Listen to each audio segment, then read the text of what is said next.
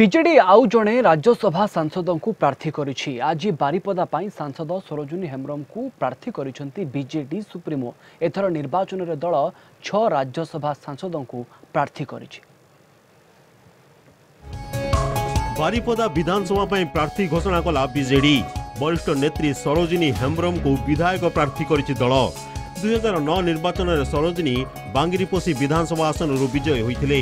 ବୟନ ଶିଳ୍ପ ମନ୍ତ୍ରୀ ଭାବେ ସେ ଦାୟିତ୍ୱ ତୁଲାଇଥିଲେ। ଦୁଇ ହଜାର ଚଉଦରେ ସେ ରାଜ୍ୟସଭାକୁ ଯାଇଥିଲେ।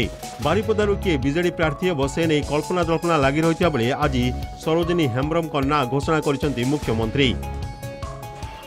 Srimati Sarojini Hembram will be our candidate, MLA candidate from Baripada.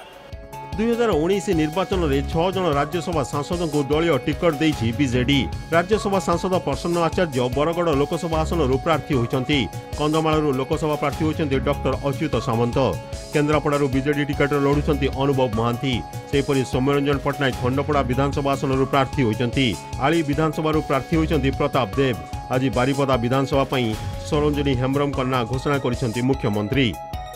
ମାନ୍ୟବର ମୁଖ୍ୟମନ୍ତ୍ରୀଙ୍କୁ ବହୁତ ବହୁତ ମୁଁ ଅ, କୃତଜ୍ଞତା ଜ୍ଞାପନ କରୁଛି। ଆଉ ସିଏ ମୋତେ ବହୁତ ବଡ଼ ଗୋଟେ ଗୁରୁ ଦାୟିତ୍ୱ ଦେଇଛନ୍ତି। ତେଣୁ ମୁଁ ତାଙ୍କ ପାଖରେ ଆଭାର ପ୍ରକଟ କରୁଛି।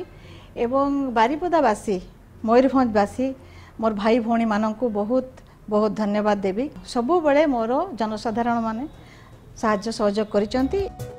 ବାରିପଦାରେ ସରୋଜିନୀଙ୍କ ସହ ବିଜେପିର ପ୍ରକାଶ ସୋରେନ ଓ କଂଗ୍ରେସର ଦାଶରଥ ସିଂଙ୍କ ସହ ମୁକାବିଲା ହେବ।